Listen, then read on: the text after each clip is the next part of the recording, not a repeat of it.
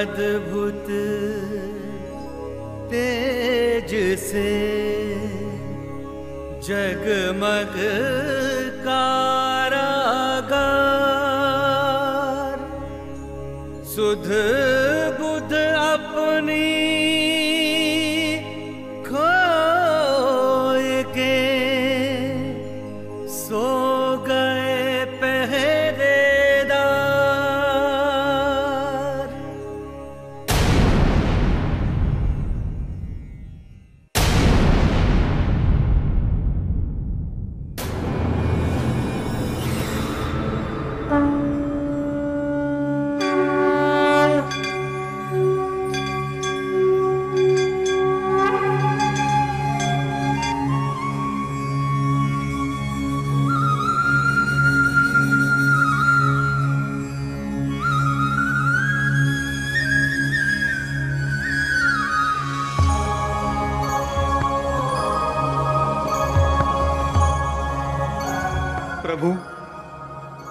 दर्शन करके हम धन्य हो गए।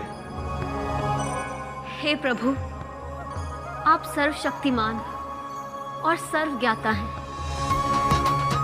आपने अधर्मियों के विनाश के लिए ही अवतार लिए हैं।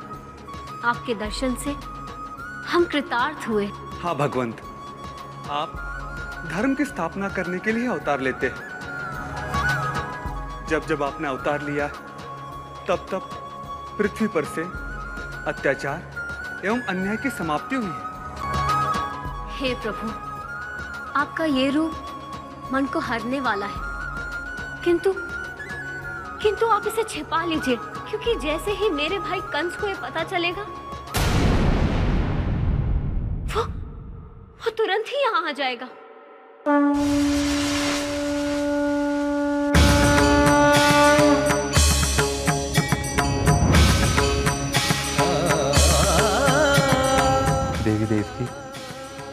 हे वसुदेव, मैं आप दोनों को स्मरण दिलाना चाहता हूँ। स्वयं भूख मनवंतर में जब आप दोनों का पहला जन्म हुआ था, देवकी, आपका नाम प्रश्नि तथा वसुदेव सुतपा नाम के प्रजापति थे।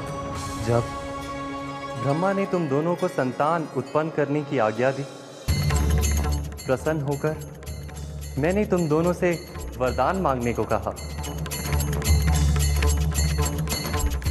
हमें आप जैसा पुत्र हो प्रभु।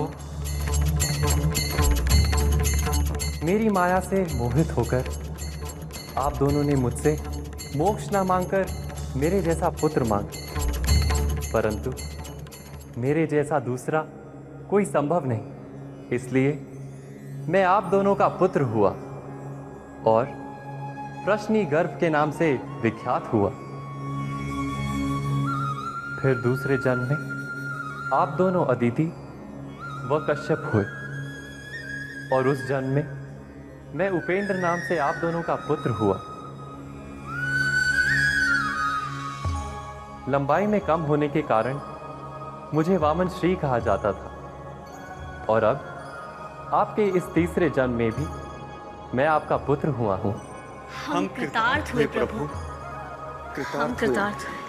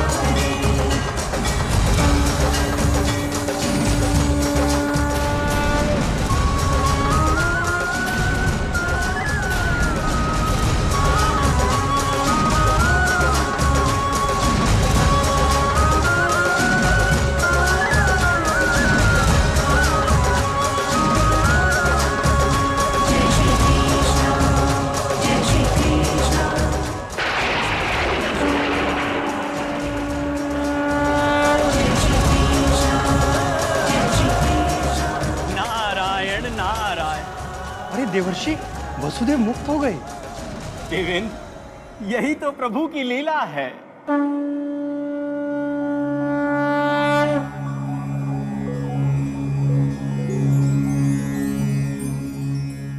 देवर्षि कहीं वसुदेव इस बालक को लेकर कंस के पास तो नहीं जा रहे? नहीं नहीं देवेंद्र वसुदेव इस समय मोहित होने की अवस्था में है। ये तो ईश्वरी प्रेरणा से चल रहे हैं। इन्हें तो स्वयं नहीं पता कि ये कहाँ चले जा रहे हैं।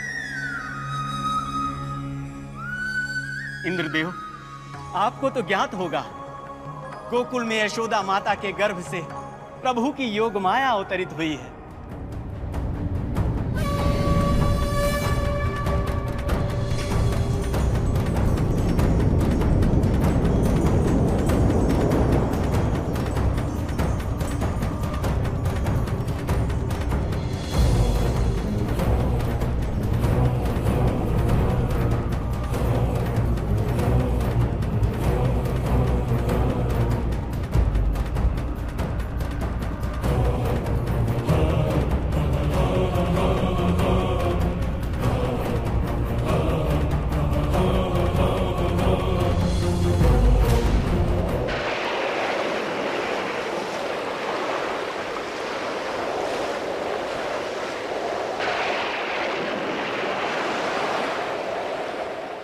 हाँ, देखा देवराज आपने? प्रभु का कार्य बिना विघ्न पूरा हो रहा है। वसुदेव जी किनारे पर ही थे। इसीलिए यमुना जी प्रभु से मिलने दौड़ी चली आ रही है। आहा जय हो जय हो प्रभु आपकी जय हो।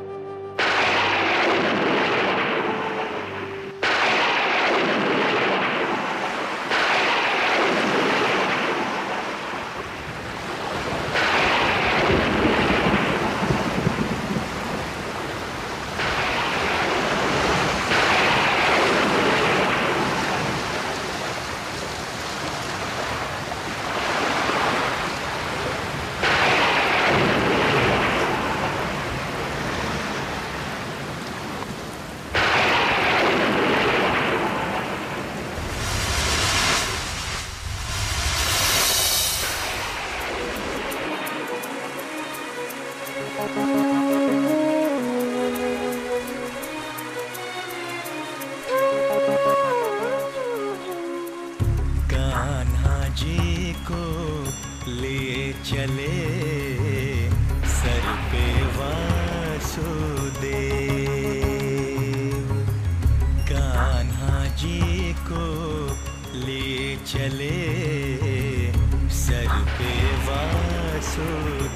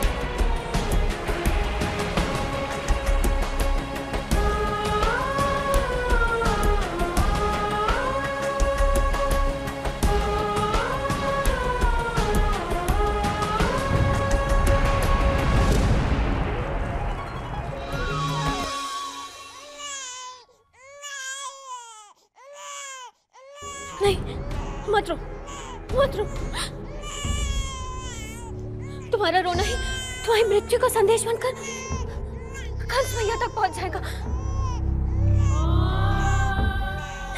चुप हो जाओ चुप हो जाओ।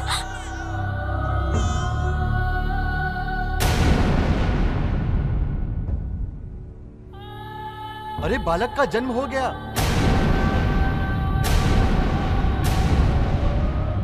मुझे शीघ्र ही महाराज को खबर कर देनी चाहिए।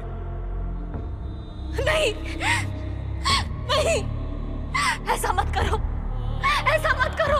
मेरा बच्चा मेरा बच्चा मुझसे मत छीनो।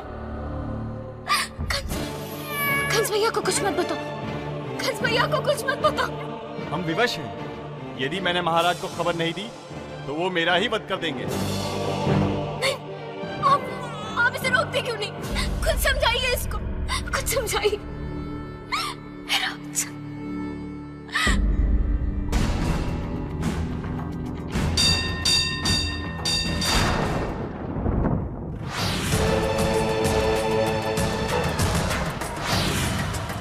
ये ये ध्वनि सुनाई दे रही है तुम्हें केशनी? सुनाई दे रही है ना?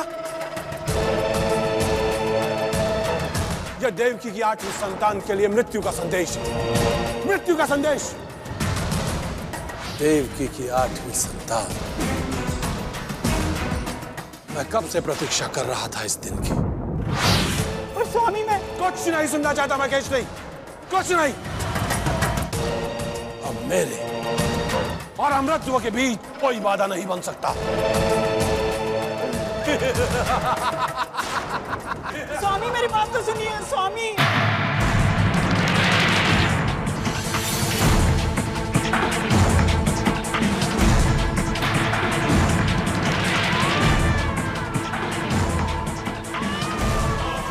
नहीं भैया।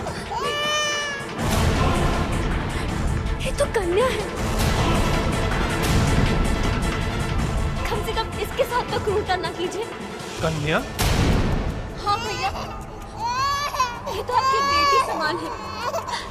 भला ये आपका क्या बिगाड़ेगी? अब तक तो आपने हमारी संतानों को हत्या दे दी। कम से कम इस कन्या को तो छोड़ दीजिए।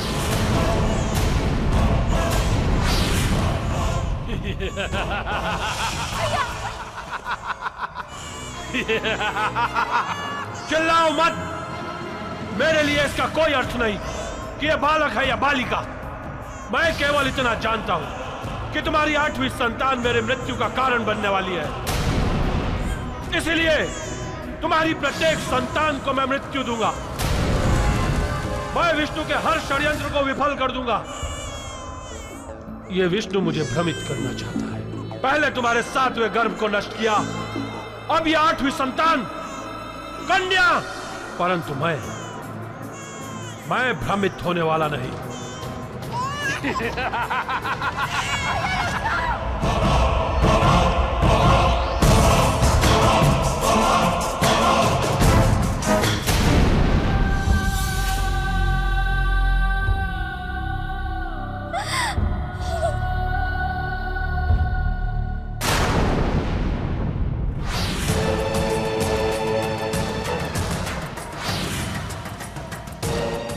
मुझे क्षमा करना, कन्या। परंतु मैं विवश हूँ। कंस ये भली भांति जानता है कि किसी स्त्री की हत्या करना घोर अपराध। परंतु मैं क्या करूँ? क्या करूँ? तुम मेरी और मेरे अमृतत्व के बीच एक बहुत बड़ी बाधा बनकर जन्मी हो। जन्म लेता है। उसकी मृत्यु तो निश्चित है। इसीलिए आज और इसी समय मुझे अपने मार्ग की सबसे बड़ी बाधा को मृत्यु देना पड़ रहा है। मृत्यु!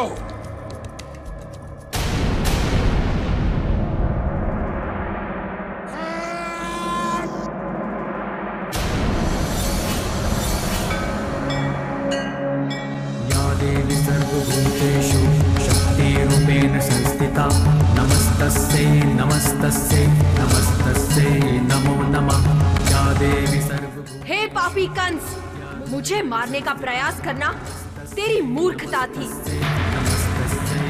तुझे मारने वाला तो किसी अन्य स्थान पर जन्म ले चुका है। हे नराधम तेरी मृत्यु जन्म ले चुकी है।